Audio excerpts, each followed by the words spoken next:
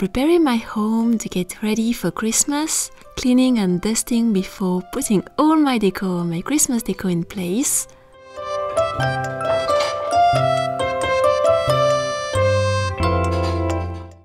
I decided to change a bit the position of my furniture in the living room because I think it creates a change and as a, bit of space has to be found for the tree and for the Christmas decor, I think it's just a fun and inexpensive way to rediscover a room and to play with your decors a bit differently each year. Changing the furniture is always something that makes me happy. Just change the energy of a room and gives a bit of fresh, a fresh start for the season. So before starting to put all my decor, uh, which I like to do usually in for about two weeks, of course, with my past paper Christmas decors coming from my workshops, and also adding at the very end the new Christmas decors from the new workshop with a bit of things coming from nature or that. I never buy anything, only candles and a bit of fragrances here and there, but really nothing, no decor. My decor, I make them all uh, in paper.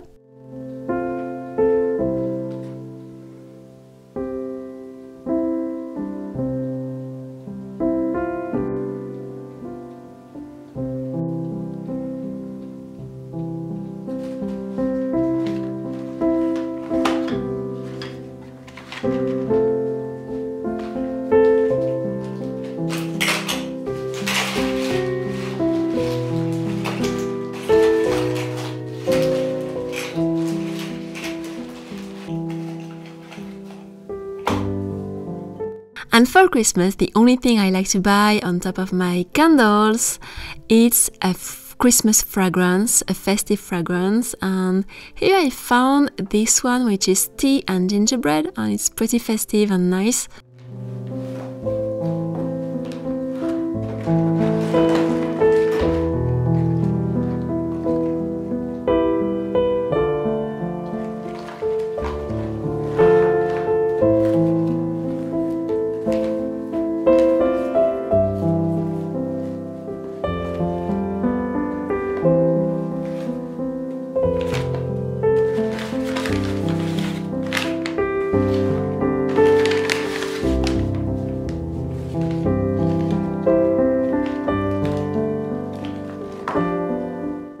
But I like to be sure that all the paper decors uh, are working. Some of them need batteries.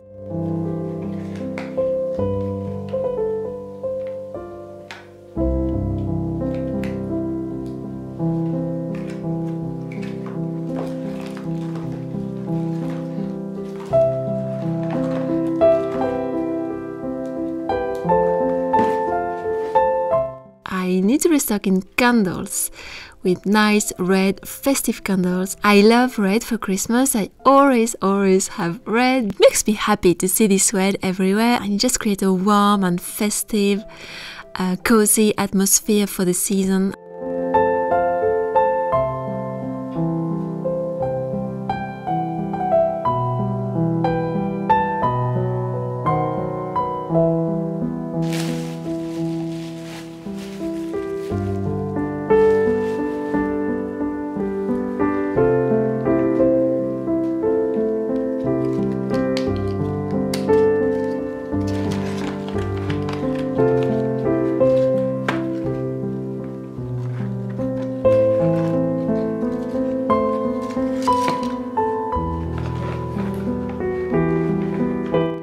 And we had a rather warm autumn, but now the temperatures are dropping. To transition to this colder season, I invested in a nice hot water bottle, which I think is going to be very useful whatever happens in the next month. And I also invested for the first time in very warm 100% wool sweaters. I never had 100% wool sweaters and it makes a big, big difference. It really keeps you super warm. Uh, I'm discovering that just now.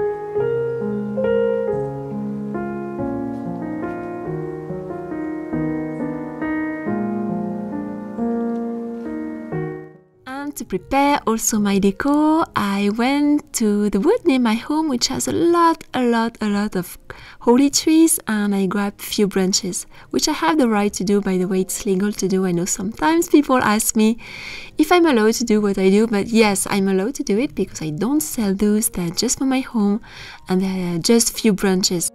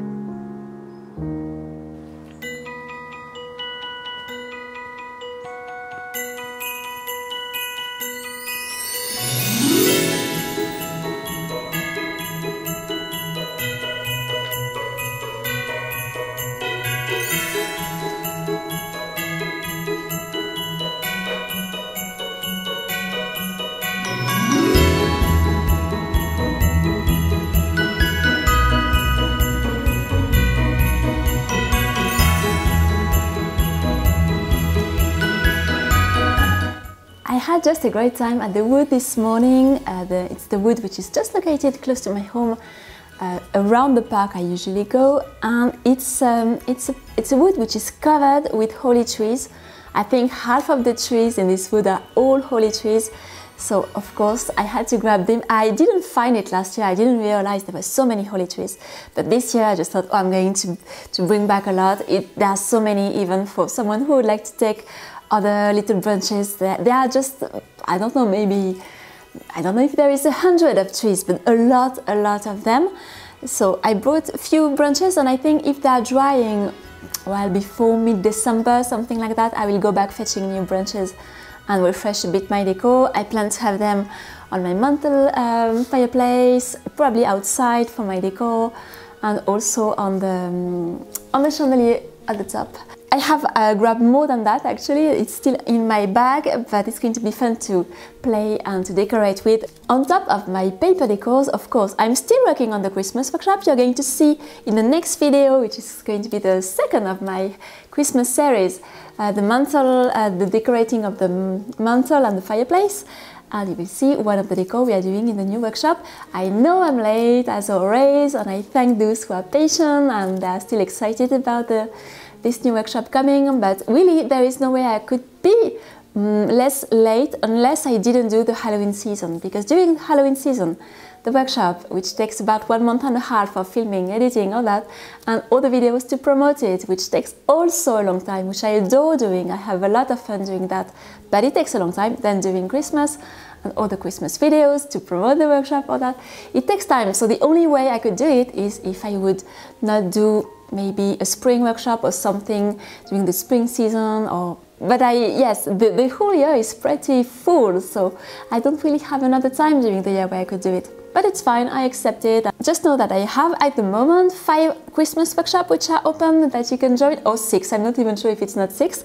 So you have quite many possibilities already to start something now till the new Christmas workshop opens. So it's not like if I have nothing at all Christmas related available. So you can just go into my website and find a, a Christmas adventure if you want to start some paper decors right now. And the new one is going to come at the beginning of December because I'm finishing it I still have some, some work to do and I'm also having a little escapade uh, in a few days which was planned for a long time. I didn't travel at all this year.